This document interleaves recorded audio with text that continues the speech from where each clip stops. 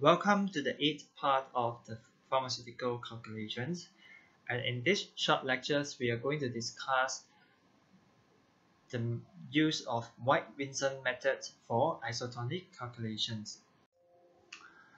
White-Vincent method uses the concept of additions of several isotonic solutions together. We produce in the end an isotonic solution as well.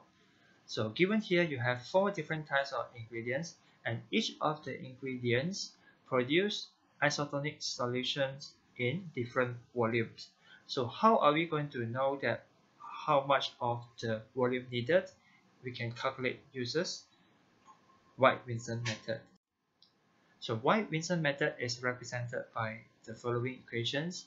V refers to the volume of the isotonic solution containing the amount of W gram of drugs or substances multiply with E1% of the substances and then multiplies with the volume of 0.9% sodium chloride containing 1 gram of sodium chloride which is equivalent to the value of 111.1 mil. Taking the same example as in sodium chloride equivalent method, we have two ingredients, phenobarbital sodium and chlorbutol present in the system, and we need to use potassium chloride to adjust the isotonicity. First, let's take phenobarbital as example. In this formulation, we have 0.5 gram of phenobarbital, and how much of the water or the vehicle is needed to make this 0.5 gram phenobarbital isotonic we can use the White-Vincent equations by just substituting the amount and the E1% value, we will end up getting 12.78 mil.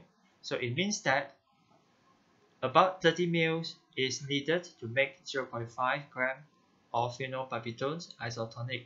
So you can do the rest for the rest of the ingredients. So for 2 gram of barbital, the volume needed is 53.33 mils. So in these systems, we have a total of 150 mil. So the rest of the volume shall be adjusted by the potassium chloride, which is 83.9 mil. So for 83.89 mil of potassium chloride, how much is the content of potassium chloride in terms of weight. We'll use back the same equations and in these times we'll substitute the V with the volume we know and we keep the W unknown and we replace the E with E1% of potassium chloride and you will end up getting the W as 0.99 gram which is about 1 gram. So this answer is exactly the same as we calculated using sodium chloride equivalence method. And thank you for your attention again.